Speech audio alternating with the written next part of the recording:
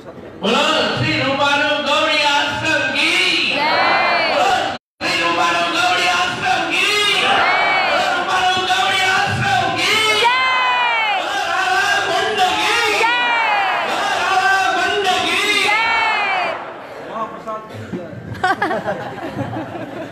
आज हम लोग गुरु वैष्णवों के अनुगत में राधा कुंड की परिक्रमा करते करते हम लोग राधा कुंड के सानिध्य में आ गए तो राधा कुंड के निकट में ये श्री रूपानु गौरी आश्रम। रूपानु गौरी आश्रम। यहाँ जो वैष्णव लोग निवास कर रहे हैं, इनके लिए नाम दे दिया गया रूपानु। हम सभी गौरी वैष्णव हैं। और हम रूप गोस्वामी जी को फॉलो करते हैं। उनकी विचारधारा में, उनके विचारों में निष्णात होकर उस प्रकार भक्ति जालन करते गुरु जी ने कहा है कि अन्ना विलासिता सुनना। भक्ति का प्रारंभ यहीं से है कि अन्ना विलासिता सुनना, ज्ञान कर्मात्मना प्रतम अनुकूलेन कृष्णानुशीलनम भक्ति उत्तम। जब सारी अभिलाषाओं को त्याग करके कृष्ण सेवा के लिए मन, प्राण, हृदय, जीवन समर्पित हो, तब शुद्ध भक्ति प्रारंभ होगा। उससे पहले हमारे अंदर जितनी कामना वासना की, आवर्जना जो गंदगी बनी हुई है, तब हमारी शुद्ध भक्ति नहीं हो रही यहाँ से प्रारंभ करके श्रील रूप गोस्वामी पाद कहते हैं कि हमें आगे चलना है। विधि मार्ग के जितने भी अंग हैं, इन सब का पालन करते हुए आगे चले तो राजमार्ग में प्रवेश राजमार्ग में भी रागात्मिका भक्ति ब्रजवासियों के अंदर है। उनके अनुसार चलने वाले भक्त लोग फॉलो करके वैसी भक्ति करते हैं, उसे रागानुगा भक्ति कही जाती है। तो रागानुगा भक्ति में सब सभी रस के भक्त होते हैं। जैसे शांत दास्त सत्य वात्सल्य, मधुर, ये सभी हैं। परंतु गौरी वैष्णव जो है, वो है रूपानु रूपानु का विशेषत्व क्या है? कि रूप गोस्वामी जी की विचारधारा में तो रूप गोस्वामी जी की विचारधारा में भक्ति कैसे करनी है? कि राधिकार दासी ज्योति हो जो विमान शीघ्र ही मिलई तब गोकुल कानन। गोकुल का राधा जी की किंकरी होने का अभिमान लेकर के जो कोई व्यक्ति भजन करता है तब वह शुद्ध भक्त है जो इस तरह से अभिमान लेकर के भजन करें।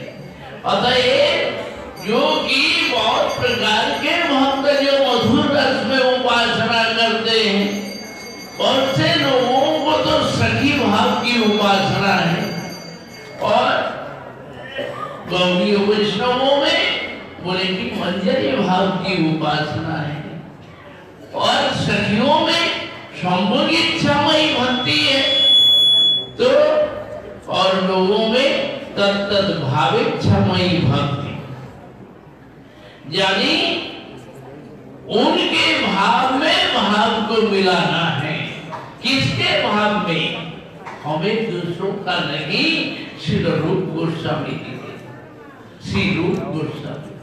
श्री गुरु वर्ग जो मंजरी भाव के उपासक है। तो इस प्रकार गुरु वर्ग के अनुगत में। उनके अंदर में क्या है? तत्त भावी भाविक्षमयी भक्ति। जो श्री रूप गोस्वामी जी के विचारों के भाव के अनुसार गौरी वैष्णव लोग भजन करते हैं। हमें कृष्ण से मिलना नहीं, कृष्ण की सेवा करना है। तो कैसे? राधा जी के अनुगत में, राधा जी का भाव। राधा जी का भाव किसके अंदर है बोले मंजरियों के अंदर। अतः मंजरिया कौन है?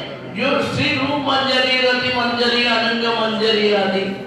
वे हमारे गुरु वर्ग श्रील रूप गोस्वामी, सनातन गोस्वामी, दीप गोस्वामी आदि।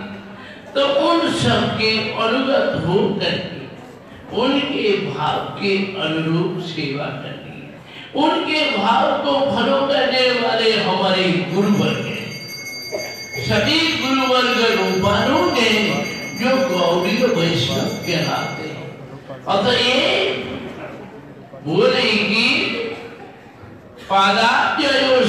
विना परदासमेव कदापि समये किल देवी जाते सखायते मम रसस्तु रस नमस्तु नमस्तु मम रसस्तु रसस्तु सत्यम। हे वृषभानुनंदिनी राधे, तुम्हारी चरणों की बारंबार प्रणाम करते हुए बारंबार प्रार्थना करते हैं। तुम्हारी सखित पद को हम नित्य नमन करते हैं। हमें वो नहीं चाहिए। जन्म जन्म में तुम्हारी चरणों की दासी बनकर हम सेवा कर सके। यही हमें मिल जाए। इतना ही आशीर्वाद हमारे ऊपर हो तो ये गौरी वैष्णवों का अभिप्राय और इसी अभिप्राय के साथ चलने वाला ही गौरी वैष्णव माना जाएगा। नहीं तो दूसरों के पास जा रहा है, भटक रहा है, बोले भटको भटको, जा जा, कहाँ जाना जा। सखी बनकर के चंद्रावली के पास जा तो वही होगा। और गौरी वैष्णव का अनुगत करके भजन करेगा तो कम से कम रास्ते में रहेगा। और नहीं तो बेलाइन होकर के कहीं जाना है तो जाओ, कोई बात नहीं है। तो उनसे हमें कोई मतलब नहीं। आज हम लोग श्री रूपानु गौरी